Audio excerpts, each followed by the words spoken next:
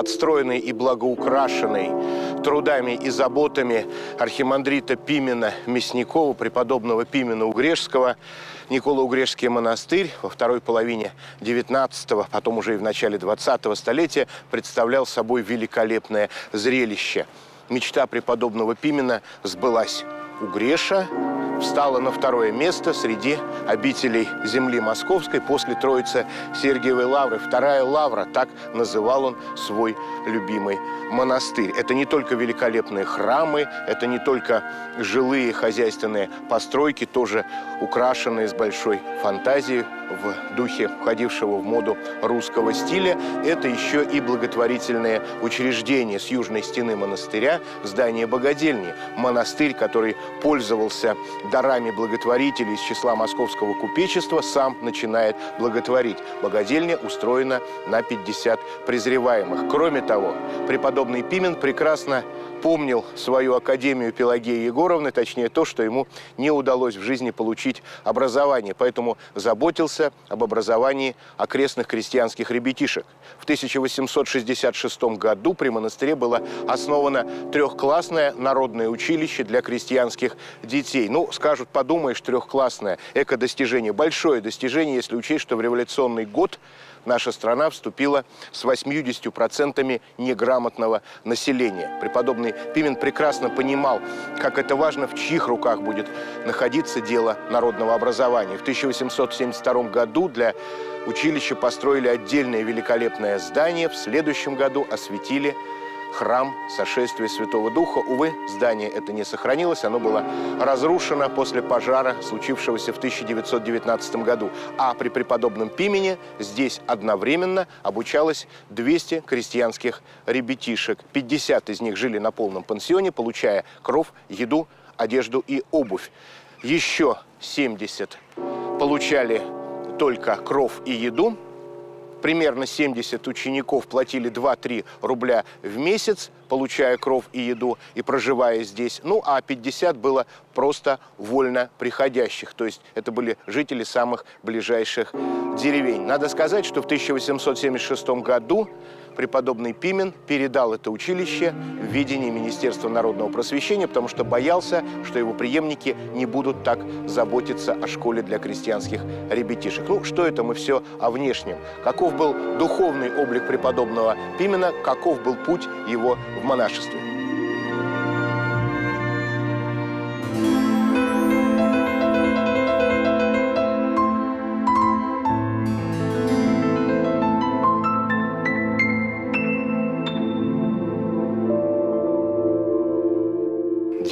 Преподобного Пимена по устроению монастыря тоже можно считать своеобразной формой монашеской аскезы. Это, во всяком случае, форма служения, которому он всецело себя посвящал. Но все-таки есть то, что составляет жизнь всякого инока, всякого человека, посвятившего себя монашеству. Здесь он шел так называемым непадательным путем. Это когда подвижник а не принимает ну, каких-то особых подвигов, да, каких-то э, особых проявлений аскезы. Там это не затворничество, не ношение верик, не подвиг пещерного копания. Все эти подвиги присутствовали в монашеской традиции русской церкви XIX века в современное преподобному Пимену время. Он говорил так, дай Бог нам исполнить то, что сказано в церковном уставе. Это уже дорожка проторенная, и ей можно идти, не совершая падений, не уклоняясь от пути спасения. Все это он выполнял неукоснительно. А что касается отношения вот к каким-то внешним людям. Есть замечательная история о том, как он разговаривал с одной барыней. Святитель Филарет Московский, однажды сказавший здесь очень горькие слова, на самом деле это боль за вот это место, которое пребывало в таком запустении. Это он сказал еще отцу Иларию, предместнику преподобного Пимена, что во всей моей епархии нет храмов хуже, чем у тебя. И вот он как-то старался помочь монастырю и направлял а, людей, которые ну, потенциально могли как-то благотворить обители. Вот с этой барынькой а, разговаривал преподобный Пимен. Она решила так духовно пококетничать. В те времена среди высшего света соблюдение постов, вообще какие-то проявления традиционной церковной жизни, может быть, кроме богослужений, были не очень приняты, прямо скажем. И она сказала, ах, как жаль, что мне здоровье не позволяет вполне поститься. А вы поститесь? Спросил отец Пимен. Ну да, конечно, как и а молочное кушаете? Ну да, ну, конечно, молочное кушаю. А Великий пост как проводите? Первую и последнюю неделю только рыбка. Ну, вообще, это такой пост католический, проявила Баренька свою осведомленность в традициях христианства. На что отец Пимен сказал, да помните, разве вы католичка? Давайте уж лучше так. Вы прямо скажете, поста я по здоровью не соблюдаю. И не будете его соблюдать, поскольку здоровье не позволяет, но при этом укорять себя. И никогда, матушка, не говорите, что вы соблюдаете пост. Ну, об этом э, случае поведал в своих воспоминаниях один из учеников преподобного Пимена. Об этом немного позже. Теперь относительно аскетического делания братьев.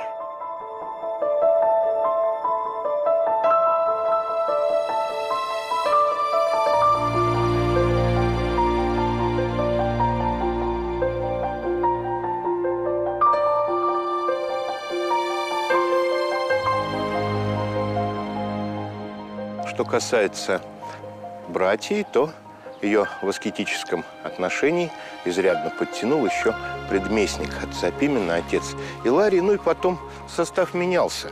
Конечно, монастырь был благоустроенным.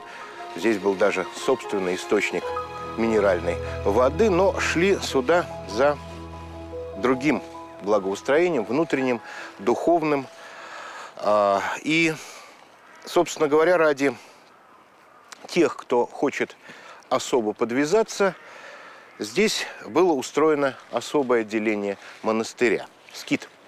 По образцу крупных монастырей того времени – Оптиной пустыни, скит, где проживали знаменитые оптинские старцы, многочисленные скиты при Троице Сергиевой, Лавре Черниговский, Гефсиманский, а, скит Параклита, Святого Духа Утешителя. Это была особая форма монашеской жизни, вызванная велениями времени. Многолюдные монастыри напоминали собой маленькие городки, монахи были заняты на послушаниях, обслуживали паломников, всегда было полно народу, а все-таки истинный подвиг требует уединения. И вот здесь возник такой вот чудный уголок с храмом святых первоверховных апостолов Петра и Павла, который действительно чудом сохранился до нашего времени. Деревянный храм. Монастырь после закрытия здания его несколько раз горели. А этот храм уцелел, уцелел перед лицом стихий, перед лицом людского небрежения. А после кончины супругов Александровых, которые очень помогали преподобному Пимену в устроении монастыря, благотворителем обители стал знаменитый благотворитель московский, представитель старинной торгово-промышленной фамилии Александр Петрович Куманин. На его средства и был устроен скит, а в 1852-1860 годах, кстати, создатель скита и благотворитель Николай Брежской обители погребен здесь под алтарем Петропавловского храма. Вот когда скит освещали, было, конечно, торжественное богослужение, на следующий день и на третий день, а на четвертый день скит был закрыт для женщин, точно так же, как и скиты других монастырей, например, некоторые а, скиты а, Валаама или тот же Иоанно-Притеченский скит Оптиной пустыни. Вот здесь возник свой особый мир, где обитали удивительные люди. У старца, который заканчивал лишь академию Пелагеи Егоровны, едва учился грамоте, а все остальное Господь с избытком даровал ему э, за его пытливость, за его подвиги. У него здесь подвязались люди высокообразованные, о них мы обязательно поговорим. Но прежде всего подвижники. Игумен Антоний Бачков, ученик преподобного Льва Оптинского, знаменитого старца Леонида в схеме Льва, окончил здесь свои дни. Ну и еще такая яркая личность, как Дмитрий Дмитриевич Благово.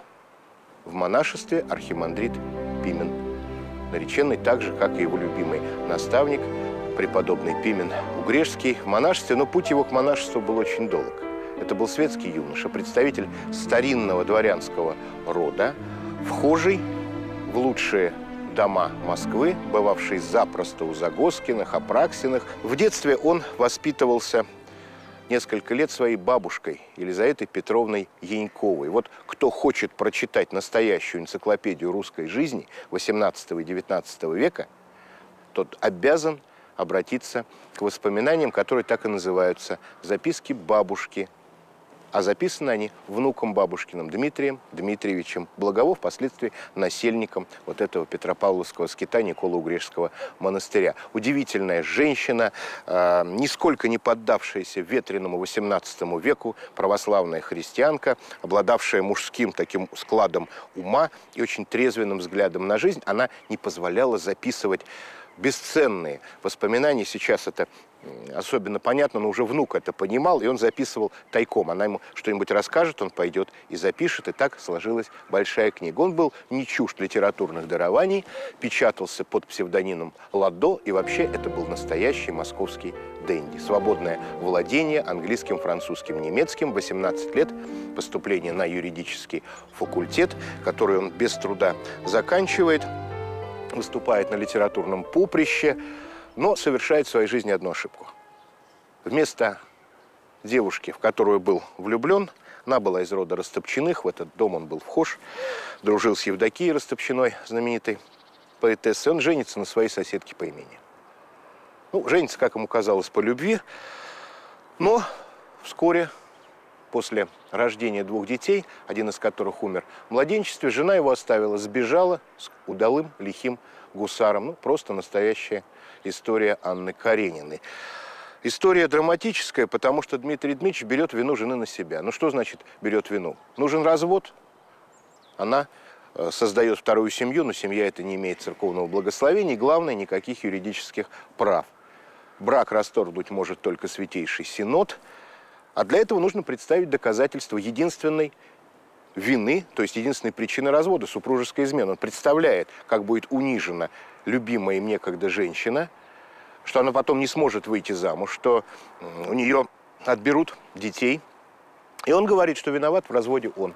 Синод ему не верит, ему оставляют на воспитание его дочь Веру, и дело о разводе тянется до 1880 года. Вот с 1867 разрыв произошел в 65-м, по 1880 год он ни год, ни два, ни три, ни десять лет пребывает на положении послушника, потому что не может расстаться со своим прежним гражданским состоянием, потому что по документам он женатый человек, а женатых в монашество не постригают. С великой любовью собирает он воспоминания своего наставника, преподобного Пимена Угрешского, пишет несколько работ по истории Угрешского монастыря, которые не утратили своей актуальности и до сегодня. Ну и, наконец, уже после кончины своего наставника в 1882 году он принимает монашество в Толском монастыре, оканчивает свои дни, дни своей земной жизни священником посольской церкви в Риме.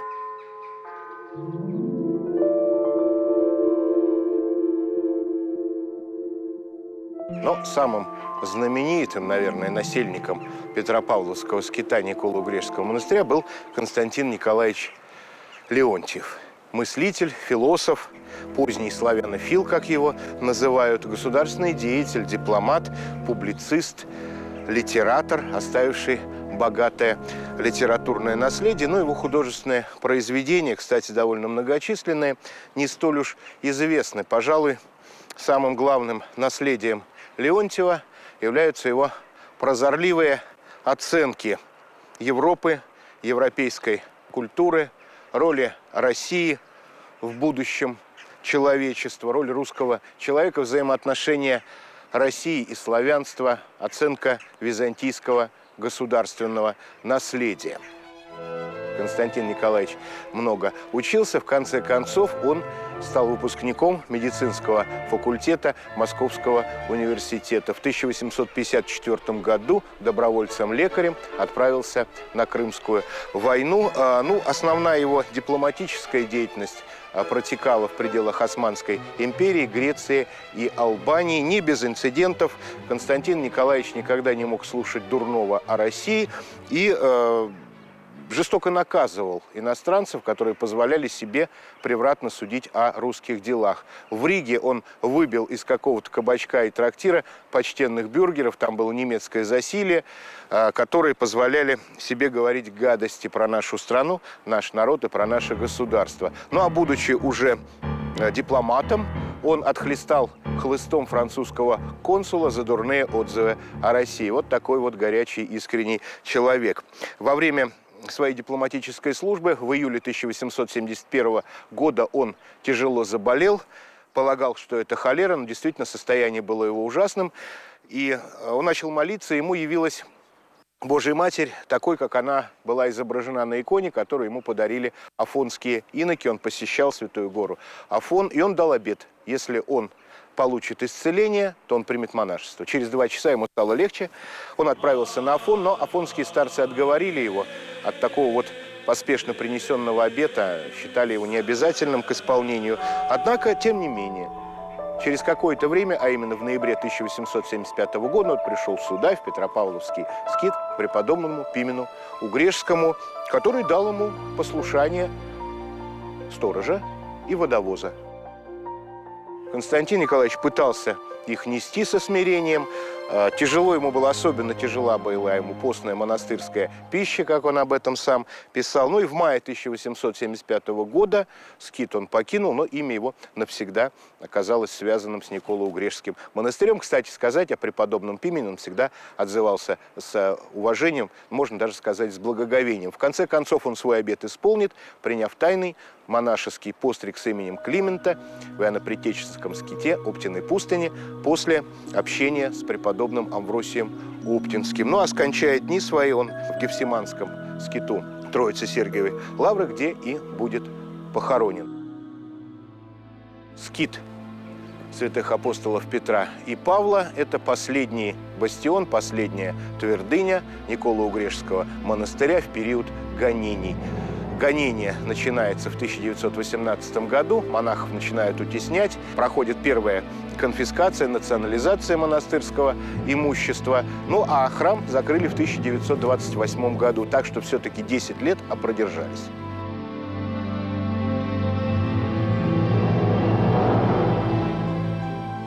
Возрожденный в начале 90-х Угреши сегодня возводят и новые храмы. Вот этот небольшой храмик – напротив Спасо-Преображенского собора, воздвигнутый, кстати, по проекту одного из насельников монастыря, носит редкое посвящение честных спасительных страстей Господа Бога и Спаса нашего Иисуса Христа. Посвящение редкое, ну а нам оно напоминает и о страстной паре, о жертвах, которые были принесены обителью, о ее иноках, пострадавших в годы безбожных гонений. Имена их сегодня известны.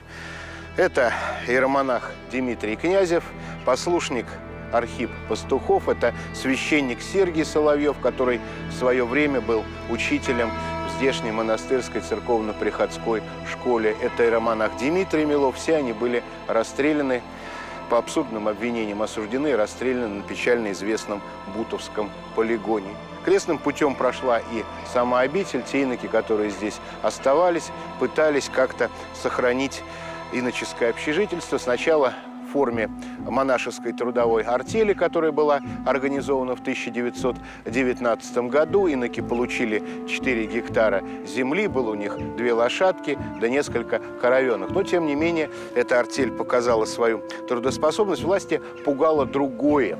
В 1924 году на Николин день, на Вешнюю Николу, сюда прибыло 14 тысяч богомольцев. По подсчетам милиции больше, чем в дореволюционные времена. Поэтому у монахов имущество отняли и передали все это колонии которая была организована в 1928 году как трудовая колония ОГПУ номер 2. 1300 беспризорников пригнали сюда из Савино-Сторожевского монастыря, к тому времени давно уже закрытого, разместили в монастырских зданиях. Что касается вот этого учреждения, ну, понятно, что оно находилось в ведении ОГПУ. С одной стороны, спасало мальчишек от криминального существования дальнейшего. С другой стороны, было учреждением закрытого типа. Делали они спортивный инвентарь, какие-то табуретки. Потом здесь был инкубаторный завод. Ну а со временем здесь возникло крупное предприятие, которое состояло из пяти заводов. В Спасо-Преображенском соборе был сначала клуб со всеми вытекающими последствиями для того времени. Потом столовая, ну а затем заводской цех. В 1938 году, после того, как руководство колонии подверглось репрессиям, она была упразднена и преобразована в производственное предприятие, а, на котором работало к тому времени уже 14 тысяч человек. Ну а потом уже над Угрешей замаячила заря Возрождения после долгих лет запустения по желанию жителей в 1990 году была организована община, а в 1991 возрожден Никола Угрешский монастырь, получивший титул Ставра Пегиального, поскольку его настоятелем является святейший патриарх Московский и всея Руси. Здесь, в Угреше, жил еще один святой. Незадолго до закрытия обители и уже после закрытия монастыря в доме, который стоял на этом месте, от которого сохранились только вот эти вот кирпичные колонны, жил святитель Макарий Парвицкий-Невский, знаменитый миссионер, просветитель Алтая, создавший и письменность, и переводы священного писания на алтайские наречия богослужебных, огласительных текстов. Человек, который всю свою жизнь посвятил проповеди Слова Божия и между прочим, передача культурных навыков тем народам среди племенам, среди которых он проповедовал Евангелие, потому что такова была задача, таковы были принципы русского миссионерства синодального периода – нести веру и нести культуру, ну, здесь в данном случае еще и письменность. В 1912 году, уже на закате своей э, деятельности, в то время уже э, архиепископ Макарий был назначен императором на московскую кафедру. На кафедру Первопрестольной никогда и вообще на кафедре на архиерейские не ставили выпускников семинарий, только архиереев с академическим образованием. История московской кафедры знает два случая в этот период. Это святитель Иннокентий Попов-Вениаминов, апостол Сибири, Америки и Аляски и святитель Макарий Парвицкий-Невский. В 1917 году при Временном правительстве его вынуждают написать прошение об оставлении кафедры. Случай небывалый. Ни один из московских архиереев того периода сам добровольно кафедру не покидал. Ну, в данном случае не совсем добровольно, но ему ставили в вину его правые монархические взгляды, нежелание признавать новый порядок, новую власть и прежние связи с Распутиным, якобы по ходатайству которого он был и поставлен на московскую кафедру. Но поскольку его предместник на кафедре, а, святитель Владимир Богоявленский, был по настоянию Распутина смещен и удален в Киев. На самом деле все слишком преувеличено. Распутин в общем-то, относился к митрополиту с симпатией, как к своему земляку прежде всего. Ну, а тот не отгонял его от себя, потому что, как святой человек, он принимал всех. Но, тем не менее, вот удаленный с кафедры, униженный таким образом, он жил здесь, называя себя угрешским заточником. Именно сюда, а не в Троицу Сергиеву Лавру, куда он хотел поехать, переместило его временное правительство.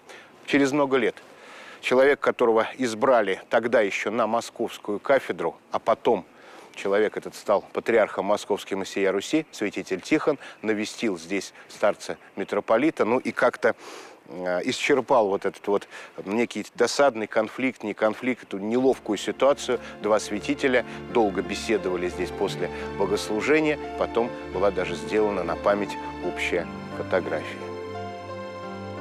Ну что ж, пришло время прощаться, но, полагаю, все то, о чем мы с вами говорили – то, что нам удалось увидеть, многих из вас позовет в дорогу, и вы приедете сюда, в Святую Угрешу.